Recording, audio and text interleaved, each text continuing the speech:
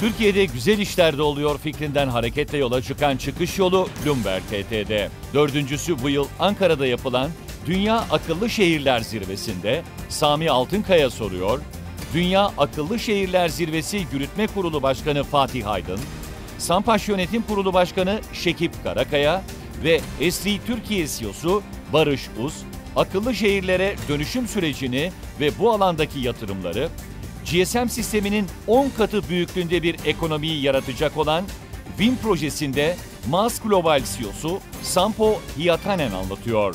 Çıkış yolu yarın Bloomberg HT'de.